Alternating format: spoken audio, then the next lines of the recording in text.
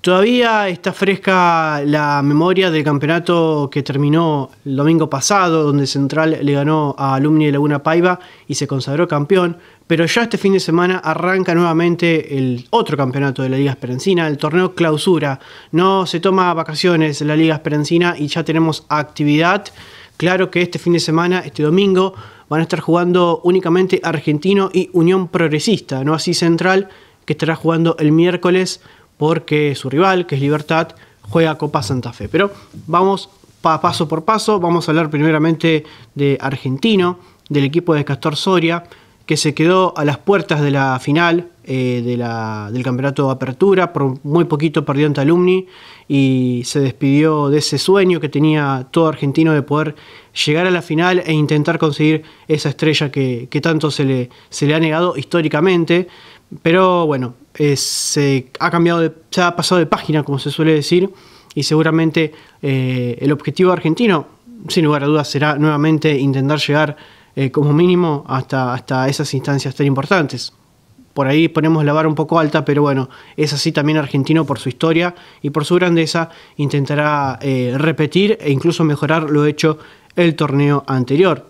Em, recibe este domingo al peor equipo del pasado torneo apertura. Estamos hablando de Unión de Esperanza. Unión de Esperanza solo sumó tres puntos el torneo pasado en 11 fechas, no ganó ningún partido, los tres puntos fueron por empates.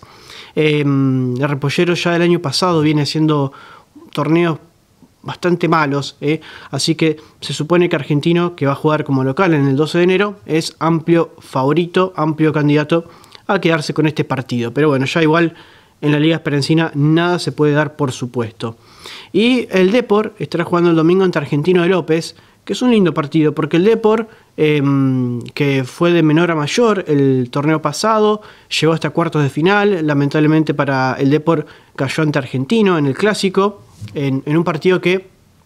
nunca, nunca pudo encontrar eh, su, mejor versión, el Depor, en ese encuentro, más allá de que los goles llegaron sobre todo en el segundo tiempo, recordemos 4-1 había ganado Argentino ese partido, eh, el Depor no había jugado bien esa noche, y recibe a Argentino de López, que es uno de los equipos, o fue uno de los equipos revelaciones del pasado Apertura, uno eh, Argentino López históricamente no lo ve llegando tan lejos en los campeonatos y sin embargo el equipo de López llegó hasta cuartos de final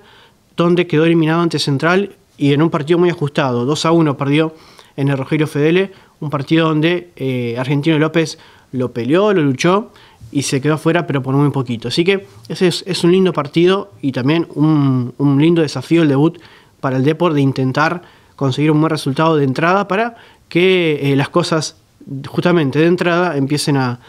salir bien para, para, el equipo que dirige Mauro Martínez. Así que Argentino frente a Unión de Esperanza y el Depor ante Argentino de López, ambos partidos este domingo desde las 14 horas en reserva y aproximadamente 15.45 en eh, primera división. Y Central juega con Libertad el próximo miércoles 10 de julio en el estadio Raúl Everard desde las 7 y media de la tarde eh, en tercera división porque el Valesano está jugando, está participando de la Copa Santa Fe y es por eso eh, por, esta participación del Valesano en la, en la Copa, esta Copa de carácter provincial que va a estar jugando este domingo